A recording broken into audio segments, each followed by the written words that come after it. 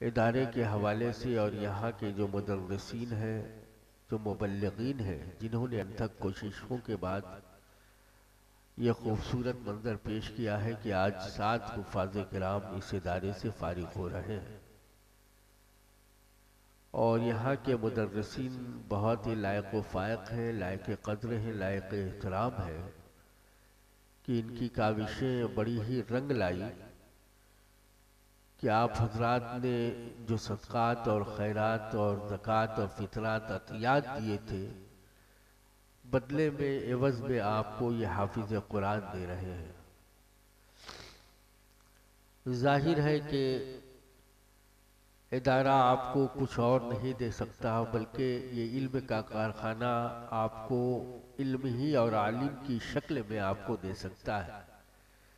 यहाँ कोई और चीज़ तैयार नहीं होती इस कारखाने इल्म में, बल्कि दीन के ये ऐसे सिपाही यहाँ तैयार किए जाते हैं। साथ ही इनके वालदेन करीमैन को भी मैं मुबारकबाद पेश करता हूँ कि उन्होंने बड़ी ही मोहब्बतों, अपनी मोहब्बतों को कुर्बानी देकर बच्चे के इदारे इदारे में लाया, यहाँ दाखला करवाया। दाखला करवाने के बाद उन्होंने इनकी तमाम ज़रूरतों को पूरी किया और आज बच्चे इस लायक हो गए कि वो हाफिज कुरान बनकर अब ज़माने के लिए एक इमाम हो गए। लेकिन ये ना समझा जाए कि दस्तार हिफ्स या दस्तार आलमियत लपेटने के बाद फ़कत ये है कि वो हाफिज हो गए, बल्कि इनकी जिम्मेदारियाँ भी बढ़ गई है। कल तक ये गाँव में रहते थे, टोपी नहीं पहनते थे, कोई नहीं कुछ बोलता था। कल तक ये गाँव में घूमा करते थे, चौराहों पे खड़े होकर लोगों से बातें करते थे, कोई कुछ नहीं बोलता था। कल तक ये होटलों में बैठकर घंटे दो घंटे गप और दूसरों का तस्करा करते थे, कोई कुछ नहीं बोलता था। लेकिन ये दस्तारे हिफ्ज के साथ साथ दस्तारे ज़िम्मेदारी भी तो आज अगर ये चौराहों पे या गलियों में नंगे सर घूमेंगे तो जमाने की उंगली उठेगी। लोग बोलेंगे कि देखो दारूम का फारिग शुदा है कि जिसके सीने में कुरान है, जो कुरान का मुकम्मल हाफिज है, वो आप बुराहों में यूँ ही नंगे सर घूम रहा है तो लोगों की उंगलियाँ उठेगी, लोग बुरा भला कहेंगे। साथ ही कल तक ये मस्जिद नहीं जाते थे। तो लोग सरफे नज़र कर देते थे बच्चा है इन्हें छोड़ दो। लेकिन दस्तार को लपेटने के बाद अगर ये मस्जिद नहीं जाएँगे तो खुद इनके घर वाले भी इन्हें बोलेंगे साथ ही साथ इनके बाहर वाले भी इन्हें कहेंगे। लिहाजा दस्तारी हिफ्ज तो ले लिया अब आपको अमली मैदान में बड़ी ही कुंदन साबित होना है। अल्हम्दुलिल्लाह, यहाँ का इंतज़ाम इंतज़ाम बड़ा ही खूबसूरत है। और इस शामियाने में एक चाँद देख रहा हूँ।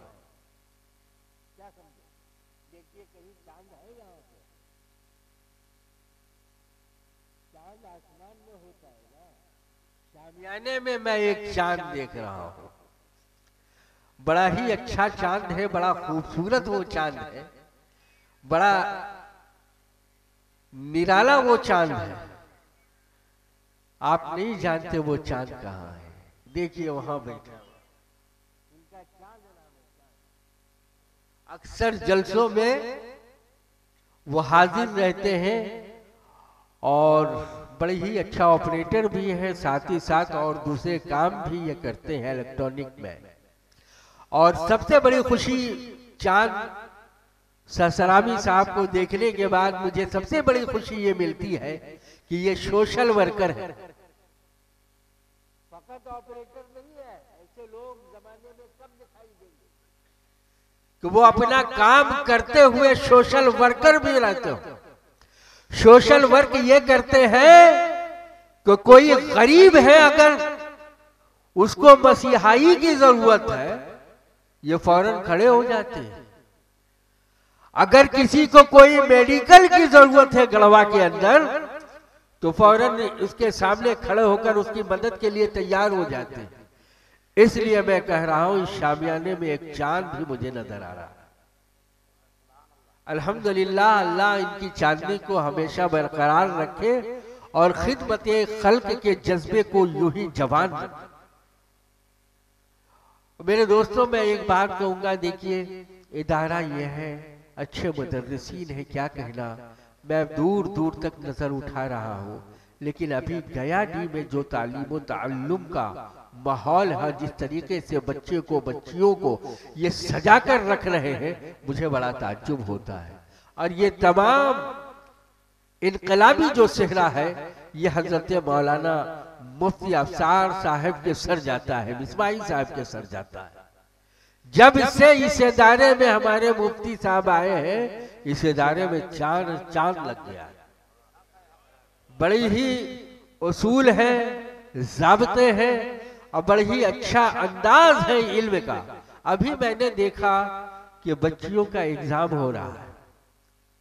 जबकि बच्चियों का एग्ज़ाम इस तरह आज तक मैंने देखा ही नहीं।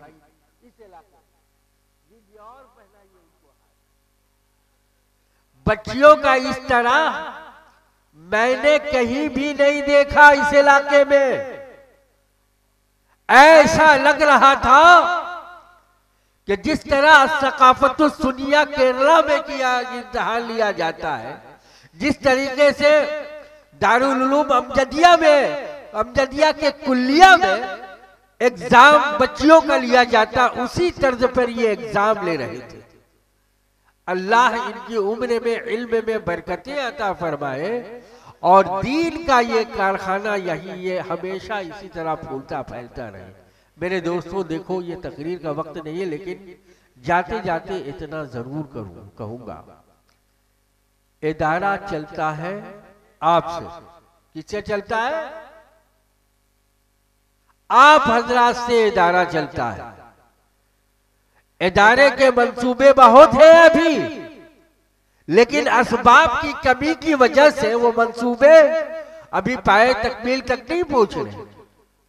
इनके मंसूबे बहुत अच्छे हैं अभी।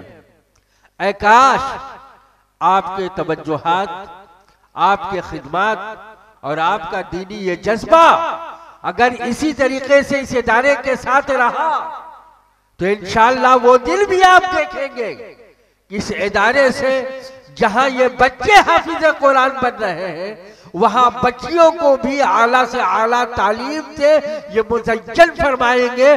और बच्चियाँ भी इस जमाने में, इस इलाके में बच्चियाँ भी मुल्मा का काम करने के लिए तैयार हैं।